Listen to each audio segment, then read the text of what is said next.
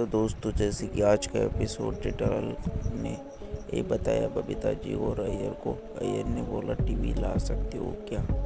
वो जेठालाल बोला हाँ मैं ला के दूँगा।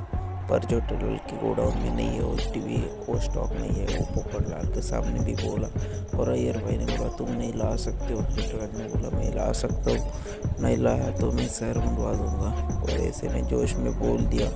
और सही में उनके पास टीवी नहीं था, आपको भी पता है जेठालाल की कुंडली देखते रहे रात को साढ़े आठ बजे ग्यारह बजे तक उल्टे